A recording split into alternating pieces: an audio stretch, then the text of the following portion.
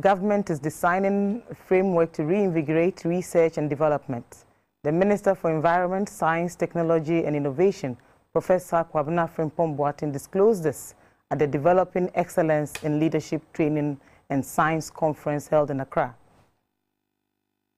The Developing Excellence in Leadership Training and Science Program, DELTAS, is a scheme initiated by the Wellcome Trust in partnership with Alliance for Accelerating Excellence in Science in Africa and other partners to support the African led development. The Deltas program was laid on a fundamental framework of the Africa Change Theory with specific focus on achieving world-class output in terms of scientific quality, training the next generation of scientific leaders, linking research to policy, and building robust and vibrant research environment in Africa. According to the directors of Deltas Africa, this can be achieved by supporting the development of scientific leaders in Africa through masters, PhD, and postdoctoral fellowships and building the capacity to produce world-class research that addresses Africa's health and research priorities. 11 programs involving 54 institutions in 21 African countries are being funded through the Deltas Africa program. The Accra conference is aimed at reviewing how policymakers,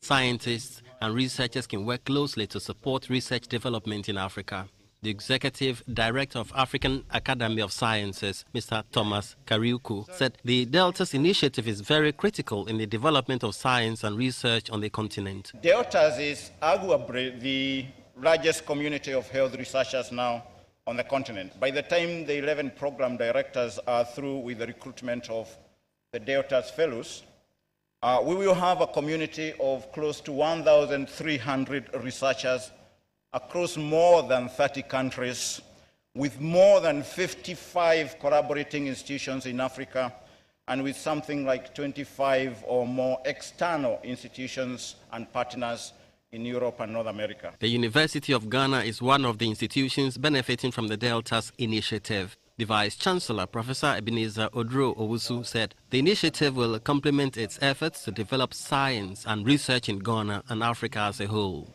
One of the most profound impacts of the WACCBIP Deltas program at the university has been its postdoctoral training program. The program has attracted some of the most talented young African scientists who graduated with PhDs in the last few years.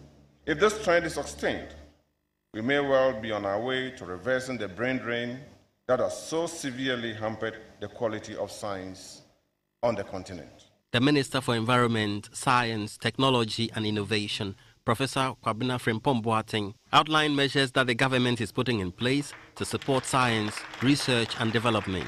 So far, the amount of money dedicated to research and development is just about 0.025% of GDP. But our president, Nana Addo Dankwa has promised to increase it to 1% in accordance with what AU is saying. And I think he will not even stop there. In future, when we get some more money, he will increase it. So that is my hope. And uh, that is the hope of all of us. That when we get 1% of GDP into research and development, we'll make uh, headway. The director of the West African Center for Cell Biology of Infectious Pathogens, Mr. Gordon Awandare, welcomed government's decision to increase the support for research and development in Ghana and hoped that it will go a long way to support the sector.